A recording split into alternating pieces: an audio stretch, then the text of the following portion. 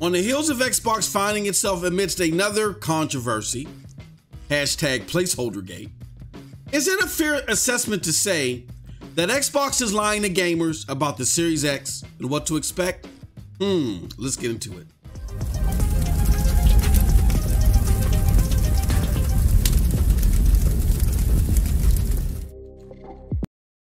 What's up, people? What's up, people? What's up, people? It's your boy MM2K back again with another video. Do me a huge favor, hit that like button, hit that subscribe button, rock those bells for notifications, please. So you know when your boy is dropping these doses. I appreciate all of y'all straight up. Y'all know the deal, y'all know the reason, and y'all know the slogan. I am not too proud to ask. Let's get into it. All right, so here's the deal, y'all. Um,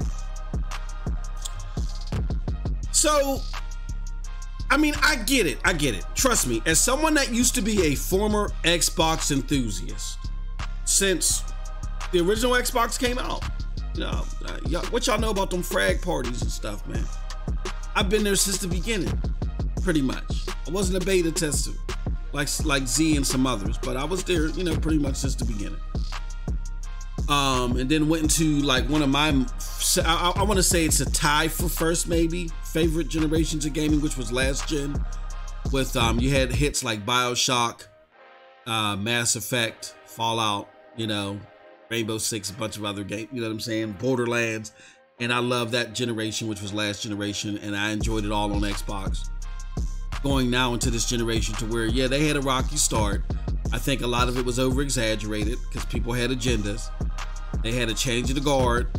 And me personally, I just don't agree with the change of the guard. I don't I don't feel like that they're they're catering to me, the type of gamer that I am. The, the, original Xbox did that way back then. They did it last gen. This one ain't so much. Now, a lot of people say to me, MM2K Xbox is going to do better. They just had to have a law because they had to build up the troops, build up the forces. Now, in my opinion, I don't believe that. I just think that they're changing the guard and they're being vague about it and they're being misleading about it because, again, they don't want to tell a section of gamers that it's helping propel them at the moment. They don't want to tell them we're no longer for you. They want you to keep coming to the restaurant. They're going to want to keep telling you, yeah, I know you used to come here for the cheeseburgers, but all we got is the, the ground chicken. You know what I mean? The cheeseburgers are coming though, y'all, but until then, enjoy the ground chicken. You know what I'm saying? I, I feel like it's one of those situations. Now, at the end of the day, I'm not in the boardroom. I've been in boardrooms, but I'm not in this one. So I- am not a future uh, a, a future teller. I don't know. I could be wrong, and I hope I'm wrong. But my experience and things that I've been looking at tell me otherwise. But again, I, I, that assumption could be wrong. And the people that are arguing with me, the Dirk Griggities and, and, and, others, you know, good close friends of mine that don't go too far off the reservation for crying out loud. There's a lot of y'all that do. Oh my God, I, I could we could never have this discussion. But people like that, Dirt, people on W uh, WBG, We Bleed Green, you know what I'm saying? They they they could be right and I could be wrong. Anyway, anywho, with all that said, I said all that to say this. I went on that rant to say this. I am not a full Xbox enthusiast, but I caution you out in the community, those that have some tenure that'll recognize, please be very leery on certain textbook definitions that you use or how you try to rearrange textbook definitions of particular words because that misleads the unsuspecting gamer and you know this platform, you know my channel, I'm all against that. All right? Check your emotions at the door. Come through the threshold with the truth. What the hell am I talking about? I am simply talking about this. You see this article by IGN? Xbox downplays mysterious fable and perfect dark social accounts. Okay. This is an article that talks about what I like to call placeholder gate. where uh, and it, it's a, it's a minor, you know, it's, it's a trivial thing, but again, Xbox is under so much scrutiny, and a lot of it they, they put on their, themselves, most of it really, that people are willing to pin them to the wall and persecute them for everything and then go over the top and label them doing something that they're not doing. And again, this is coming from someone that has no allegiance to Xbox whatsoever. I've moved on. Unless they do something fantastic, I've moved on. All right. So, with that being said, um, placeholder gate is where a couple of accounts on Twitter that are supposed to represent two rumored games that are coming to Xbox either at launch or sometime during early development of the Xbox Series X, Fable and Perfect Dark. Two Twitter placeholder accounts were created. Now, on the heels of that, uh, let me see if I can find the tweet here. On the heels of that, your homeboy Tom Warren of The Verge, my good friend, my good friend Tom, who blocked me, had noticed it and said, "Oh my goodness, these two accounts are out here. Be you know, a gamer beware." Aaron Greenberg responded and said, "I know everyone is hungry for news, but sorry to get your hopes up. These accounts have been inactive. Pay attention to that word, inactive for years. It's standard practice to secure social handles for our IP." Now, people are saying that this comment from Aaron Greenberg is a lie because in a subsequent tweet, the person that actually put a placeholder on a perfect dark game came came forward and said, "Look, I did this. Um, I, after I heard about the Fable account, I created this perfect dark account. If Xbox is willing to talk to me, I'm willing to, you know, give it to them under whatever circum, you know, after the discussion. However, I'm the one that put a placeholder on this account, and I did it after I heard that the Fable account was created. Okay." So people are saying that because of this, that Aaron Greenberg said that the accounts have been active, and the comment or the tweet can lead you to believe that they were responsible both for both accounts, that they were lying. And here's why I'm here to tell you that is wrong, and I understand where it came from. So first, let's go over where it came from, and let's explain why it is wrong. And we're going to also contrast this to why it's wrong why we need to focus on that being wrong because we got to watch out for the competitors that are guilty of the same thing. All right. So first and foremost, let me let me bring this down a little bit. So, uh, uh someone on Twitter had asked Aaron Greenberg or asked Xbox a while ago about the 60 frames per second because there's been a lot of discussion about whether 60 frames per second will be standard. And Aaron Greenberg said yes. 60 frames per second with the Xbox Series X generation will be standard output, but the architecture allows us to support up to 120 frames per second. Now, I'm going to say this is a lie. Now, you could say that someone misspoke, but I think Aaron Greenberg was a little bit too smart for that. I think this is a lie because he should have known the difference between 60 hertz and 60 frames per second. He said the, and then he also said the output. So the reason why I say that is uh, later in a subsequent article, the same Tom Warren from The Verge, senior in the COG article, was confirmed. Senior editor at The Verge, Tom Warren, stated on Twitter that the Xbox Series X games won't run at 60 frames per second standard output. Microsoft tells me ultimately it's up to the individual developers to determine how they leverage the power and the speed of the Xbox Series X. And I find that peculiar that Aaron Greenberg would do that on the heels of Stadia getting lambasted when their head of gaming, Phil Harrison, said something similar in 2019. It was misunderstood and it, it, caused a lot of ire to this day of this recording that Stadia is having to deal with. He went and did the exact same thing. They, they listened, they got their ears to the ground, they know what's going on. They were looking to deceive right here, and it didn't work. It fell, it fell, fell apart, and it fell apart real quick because uh, Tom Warren called them out on it. So, with all that said, that was a lie. However, just because Xbox lied in that incident, just because they may not make your favorite box anymore, or just because MM2K doesn't like the direction they're going into and he thinks that they're not being transparent and open minded about everything, I am not willing to call everything they do as a lie. Do is a lie, okay? I'm not willing to do that. Okay? Why am not uh, why am I not willing to do that? Because the word lie has a textbook definition. Let's go back a little bit. The textbook definition of the word lie is to make an untrue statement with intent to deceive. Okay, so if we go back to Aaron Greenberg's comment about a placeholder gate. He says, I know everyone is hungry for news, but sorry to get your hopes up. These accounts have been inactive for years. It's standard practice to secure social handles for IP. Nowhere does he say, he says the accounts are inactive. Well, no, before I go there, nowhere does he say, we secured these social handles for our IP.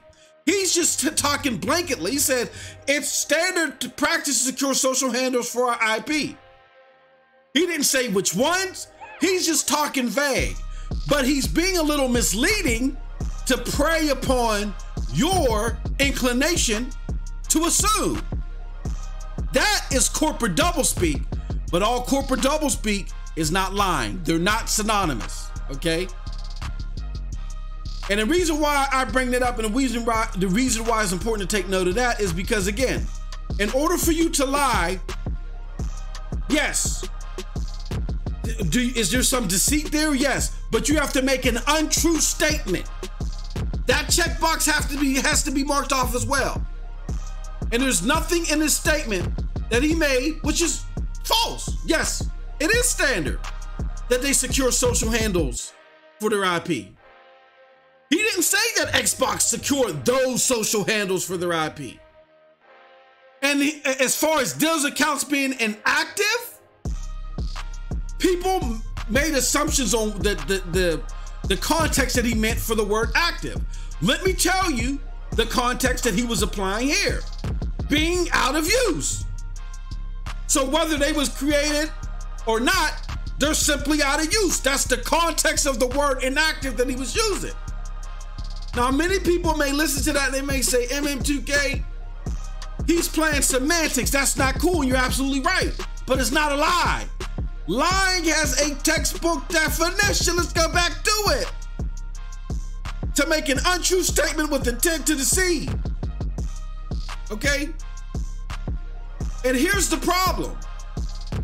I get where this came from. Let's just do this in chronological order. I get where this came from. Like I said, Aaron Greenberg did lie about the 60 frames per second. You know what I'm saying? And then he got busted by Tom of The Verge. Now, we had somebody else from Xbox. Um, the guy's name is Jason Ronald. All right, program. Uh, um, he's head of program manager or director of program management. He came on IGN and talked about Xbox Series X capabilities. He was asked explicitly about all games that are first party coming to Xbox Series X being Xbox Series X enhanced, whether they're on Xbox One or Xbox Series X. And he dodged the question and he was called out for it, but he wasn't lying. Okay. He was not lying. He just dodged the question. He wasn't being transparent, which isn't good for Xbox at all, especially for the place that they're in and how much ground they got to make up. But he didn't lie. Okay. And it's important that we understand that. So even though here we know there's been a history of lying, number one, they didn't lie here. Number two, Xbox isn't mutually lying isn't when it does happen isn't mutually exclusive to Xbox. Let me give you prime examples of when other people have lied, but then they have not been transparent in other avenues. Sony.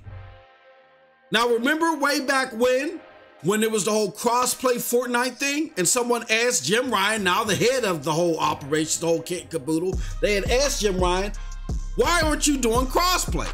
Jim Ryan simply said, because we want to protect the kids. Like he was part of Wu Tang. That was a goddamn lie. However, subsequent things that he's talked about, about we don't want to put our launch titles in um, in PlayStation now because we want to cherish them and treat them with care. That was a deceptive comment to make it seem like that they're that they're not looking at day and date at all, and their games will never go day and date. When we know we got that slide that hints towards other otherwise. Again, deceptive, not transparent, but not a lie. Also, as far as Miles Morales Spider-Man game, they've been all over the place. It, it, the, the, the, tension of being deceptive, the, the, that tension was so thick, you could cut it with a knife, and PlayStation had to go and say explicitly, we were not trying to be deceptive. if you gotta come out and say we weren't trying to be deceptive, you were trying to be deceptive. But again, did they lie? No, they didn't lie. As a matter of fact, one person misspoke and made the situation seem worse than what it was. He said it was DL, it, it was an expansion or something like that. When it's a, it's a set alone ex- expansion, but they didn't lie. So everybody does it, y'all. Everybody does it. It's just with Xbox, they're under more scrutiny because they're in last place, and people are looking at them and saying, you got to do better. And that is true. I do agree with that sentiment. But again, what I don't agree with is people calling things lies that are not lies. Because the word lie has a textbook definition to make an untrue statement. And if you're going to use your emotions to overwrite textbook definitions, then guess who the real liar is?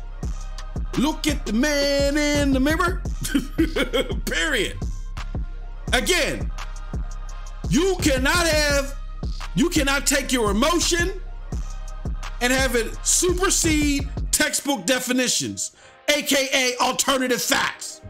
Alternative facts, when used with the intent to deceive, alternative facts are untrue statements, and when used in that manner, are lies.